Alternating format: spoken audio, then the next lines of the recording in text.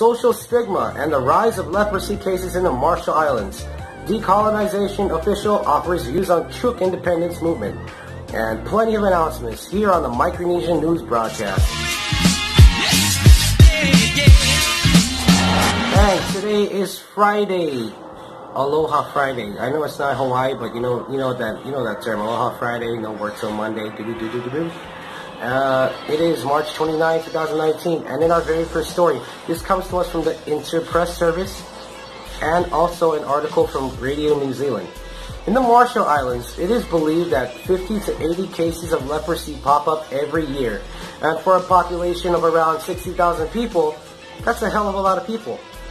According to the World Health Organization, if 1 in 10,000 people are affected by leprosy, then it should be a disease not considered eliminated. You know, one would think that no cases at all equals total elimination, but you know, I don't understand.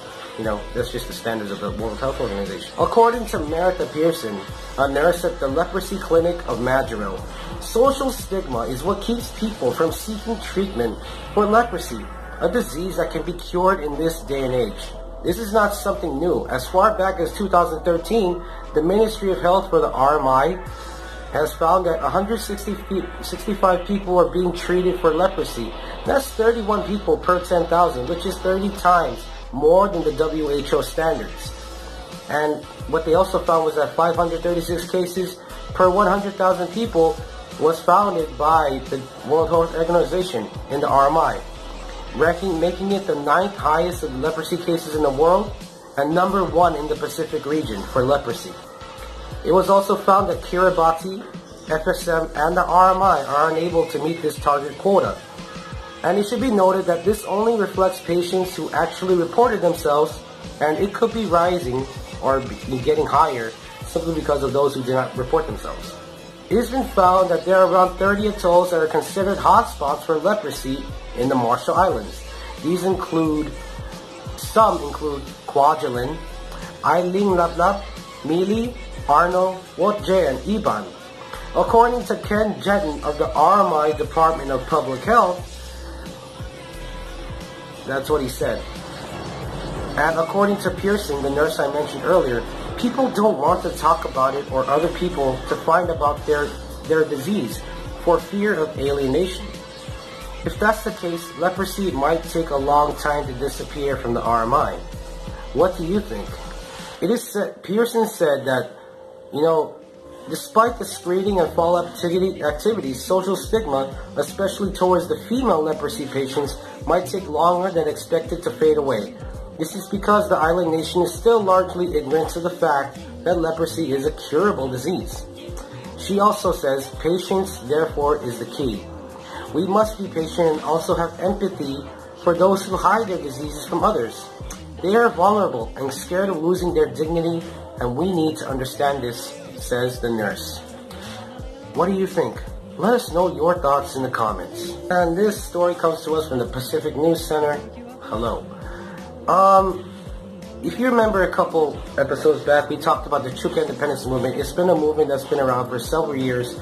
And recently, Melvin Won Pat Borja, who sits on the Commission of Decolonization, shared his perspective on Chuuk secession plans and its implication to Guam's own self-determination efforts. According to this guy, he said, it is important for us to take note of this stance. However, I think we are not pursuing our self-determination and decolonization indirectly through the federal government, through the United States. This vehicle is really created for us through the United Nations in an international arena. End quote. Remember, the Chuuk independence referendum vote was supposed to was supposed to happen this year during the March 5th elections. But however, the government announced that it has, it has been postponed because of uh, Chuuk state legislature decided to postpone it, and then now the independence movement wants to take the Chuuk state legislature to court. Also, the guys, uh, Pat Borja, said United Nations passed General Assembly Resolution 1541, which details the process for Guam's self-determination process. There are three options for Guam if they so decide to do so. Full integration or statehood, independence, and free association, just like us in the FAS. Won Pat Borja pointed out that the status voted on by the people may not necessarily mirror existing models. He stressed the importance of going through the proper process as laid out by the UN. We are pursuing this through the international process, not through a federal process. I would argue that it's almost irrelevant what the United States wants. If you remember, if you remember some time back, Robert Riley, the U.S. ambassador to the FSM, when he found out about this whole entire Chuuk State political status movement, warned the citizens of Chuuk of the potential uh, possibilities of what could happen if they were to secede from the FSM. He went to say the current Compact of Free Association was with the Federated States of Micronesia and therefore does not cover, cover a separate entity of Chuuk. That's a legal distinction that is non-negotiable. So in other words, the compact is only for the FSM and it will never be for Chuuk. Hmm. And it should be reminded that Chuuk is part of the compact because it's part of the FSM. Riley also added, there's no bad intent involved here or malevolent intent. It's just that the compact is with the FSM, and in order for there to be another compact with Chuuk, that would there there would have to be a separate compact negotiated. That unfortunately will never happen. I mean, what do you guys think?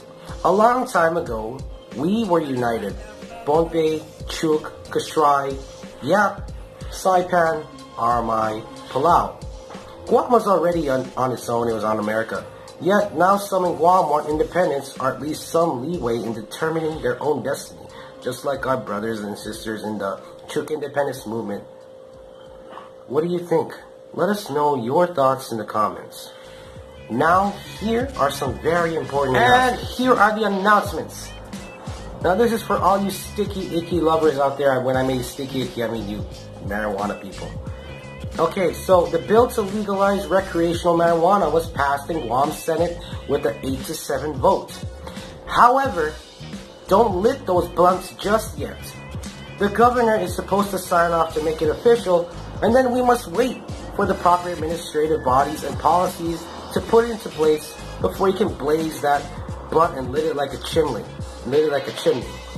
So hold off on the blunts, okay? And another next announcement.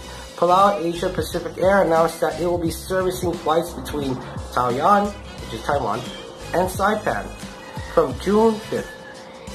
Every Monday, Saturday, and Wednesday every two weeks, providing six-day and five-day tour packages.